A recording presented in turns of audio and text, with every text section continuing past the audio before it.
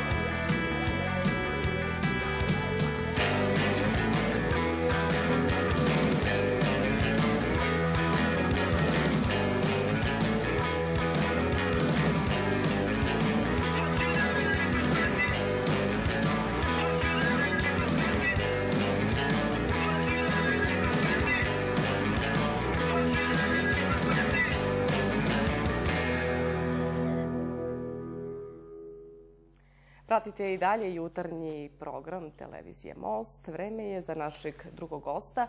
Moj gost ovog jutra, pevač i gitarista grupe Omnibus iz Kosovske Mitrovice, Dejan Pavićević. Dobro jutro i dobrodošli u naš jutarnji program. Dobro jutro, bolje ste došli. Evo, vi ste prvi album izdali 2007. godine, drugi je već nešto, nekoliko godina kasnije usledio, 2011. A sada su u pripremi nove pesme, novi album. Šta je to što nas očekuje na novom albumu? Na novom albumu je došlo malo do promjena stila svirke, ubacili smo neke nove žanrove, ali dalje imamo neki svoj ono kao stil. E, mi smo već nastupili na novogodišnjem programu na vašoj televiziji i tu smo izveli e, tri nove pesme. Ove ostale su još u pripremi neke, neke su gotove, ali nismo još uvek ništa snimili. Ove smo već izvodili na koncertu i dobro su primljene od strane publike i e, nadamo se da ćemo e, to već završiti možda do leta e, album. Samo čekamo da producent završi sa našim drugarima iz grupe Dark Sky i onda mi krećemo sa snimanjem i snimit ćemo spot. Do sad smo snimali u Novom Sadu, ali sad smo našli da je, da je praktičnije da snimimo u Mitrovici jer smo tu i možemo više stvari da obavimo i da to kvalitetnije uradimo. Po čemu će se pesme sa ovog novog albuma razlikovati od onih prethodnih? Pa, recimo, na, naše pesme, inače, niko ne može da svrsta u jedan određeni žanar muzike. E, jedino taj zvuk naš prepoznatljiv, e, gitarista posebno boji e, band svojim zvukom i možda to moje neko pevanje, ali možda po prvi put imamo jednu pesmu koja je malo i ovaj, više disco fazon, samo ne ovaj disco koji se sluša na Pinku i to, nego to ne, ipak neki rock. Imamo čak i jednu pesmu koja je u trip-hop fazonu, znači to je neki hip-hop, ali malo mračniji. I uh, treća pesma je kao neki pop 80-ih, jer uh, i ja sam ono, de, ja sam rastao uz tu muziku 80-ih, uz taj new wave, novi talas, i onda je logično da, da jedna pesma mora da nastane u, u, u, tom, u tom duhu.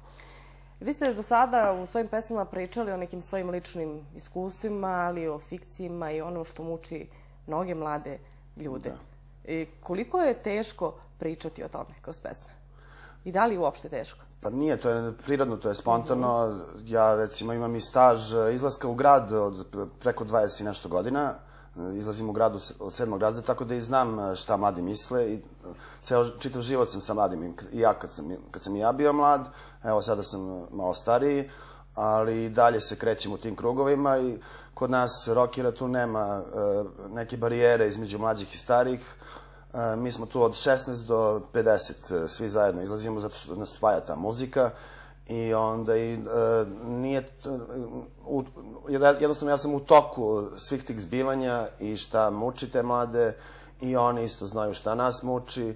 Kroz tekstove to nije teško prikazati ako slediš ono iskrene uh, uh, osjećaje koji te vode u tom pisanju.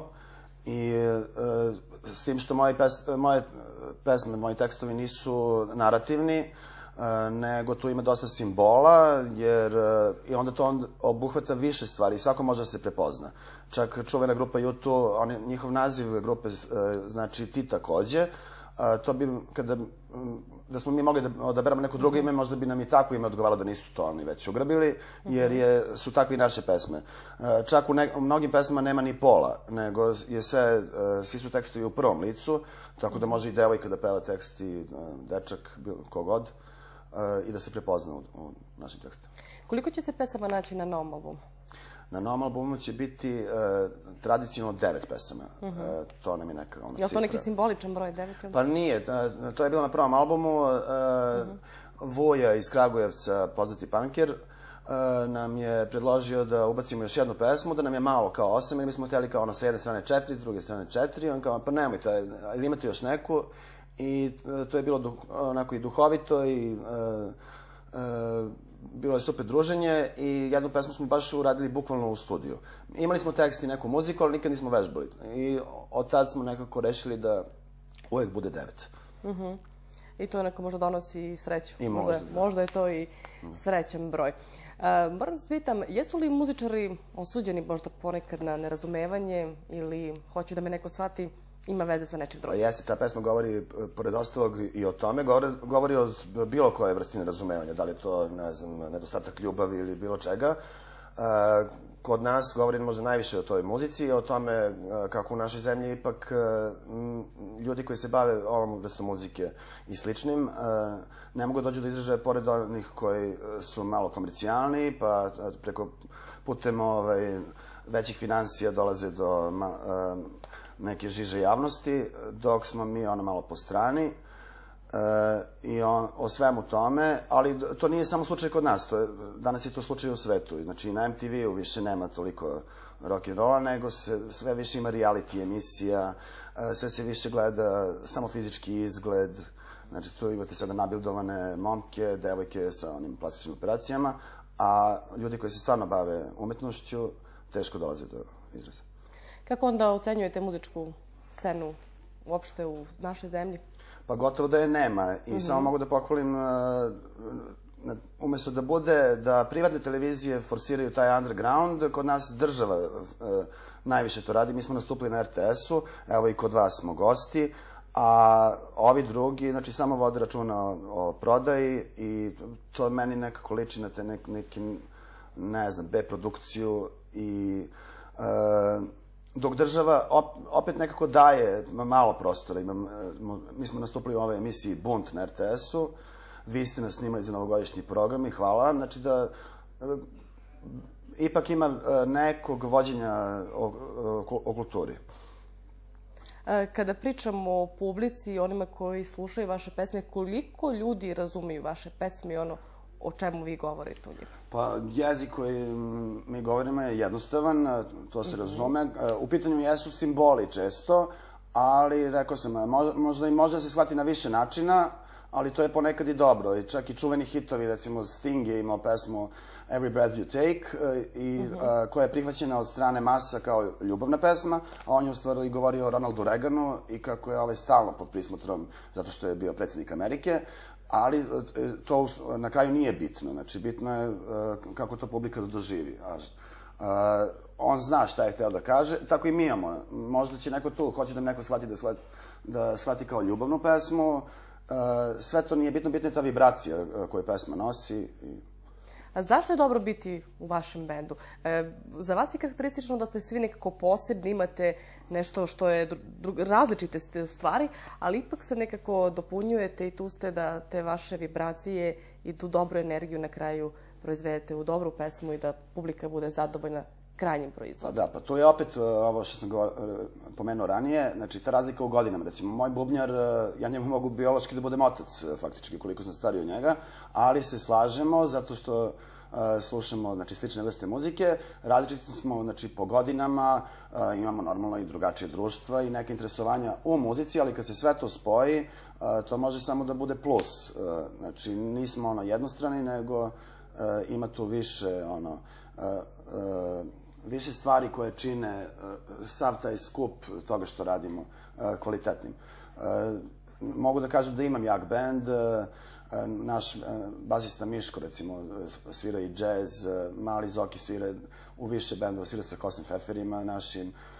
Dače i ja smo tu ono stalni članovi, već godinama, ali mi smo već ono postali drugovi, zajedno slavimo i nove godine, idemo ono, i na slave, i na, tako da smo ono, i to je jedna lepa strana toga čime se bavimo. Evo, rekli ste da se na tim skupovima, žurkama, da gde postoji ta razlika u godinama, ima i mlađih i starijih, da. znači li to da onda u Mitrovici možemo da kažemo da se sluša dobra muzika i da se i dalje, bez obzira što ste pomenuli one... Od uvek. Uh, čitao sam knjigu Marka Vidojkovića koji govori o Beogradu 90-ih i kaže tada je u Beogradu bilo 30 rokera. Ja se sećam da u Mitrovici bilo uh, barem 100 nekih, mm -hmm. znači ne oni koji se profesionalno bave, ali od, od uvek je bilo 100 i na tome nekako je ostalo. Nema tu nešto više, ali za ovako mali grad uh, to je i više nego dovoljno. -hmm. I kada oni koji vole to što vi radite mogu da očekuju kada će novi album izaći? Kada će sve pesme biti gotovo, tih devet pesama koje ste pomenuli? Pa ja se nadam da će ono, uh, krajnji ra radovi biti gotovi na leto. Ja bih volao da to bude negde na proleće, da najviše volim proleće kao godišnje doba. Pa negde u maju recimo da to izbacimo i da snimimo spot. Je li urađen, izvinite, neki spot već ili... Nije, imamo ideje, ali na- tu nam malo fale financije. Mi ne možemo puno da zaradimo, nismo toliko komercijalni da bi sada punili neke velike sale i naplaćivali skupe ulaznice, nego je sve to nešto simbolično, tako da ćemo sami malo iz svog budžeta i ako nas neko sada sluša, a može da nam pomogne, Bilo bi zaista lepo ukoliko je mogućnost, jer vi negujete jedan pravi i dobar zvuk koji se godinama sluša u Kosovskoj Mitrovici i to ljudi tekako umeju da prepoznaju. E, Nastupali ste širom zemlje, ali i inostranstva. Mnogi su čuli za vas. E, Kada ste sarađivali sa bendovima van granica naše zemlje, sa kojim problemima se, evo vi ste pomenuli financije, da li taj problem imaju vaše kolege, recimo u Holandiji gde ste Imaju. boravili nedavno? E, da naglasim, mi nismo nastupili kao band uh u Holandiji, ali pojedinačno, znači basista Miške i ja sam isto išao u Holandiju više puta. I tamo ti momci ko- koji se bave sličnim stilovima muzike i oni isto e, kubure sa tim financijama, nemaju para za skupe spotove jer već neki drugi žanrovi muzike su e, aktuelniji, ali e, imaju e, e, znači, i slične probleme, ali i slične beneficije. Hvala Bogu, e, sada imamo tu rock školu u Mitrovici, Krim centar, koji nam je dao prostora i za vežbanje, i za to okupljanje, i otprilike smo se malo približili toj nekoj Evropi po uslovima, imamo sada bolju i opremu, znači da nije sve tako crno, bolje je makar nego, ne znam, 10 ili 20 godina ranije. Dakle, ipak je bolje nego što je bilo i Da. to je za svaku... Eto, to je možda nekako... I mislim da će biti i bolje, ja sam optimist. Optimistično za kraj, pa možda je to i da verujemo da ćete novi album završiti do leta. A mi evo to, još jednom pozivamo sve koji su u mogućnosti da pomognu Mitrovičkoj grupi Omnibusi kako bi ono uživali u njihovim novim pesmama. Najljepša vam hvala što ste bili moj gost ovog jutra i što ste govorili za naš jutarnji program. Hvala i vama puno. A mi u nastavku još malo slušamo kako dobro zvuče omnibusi.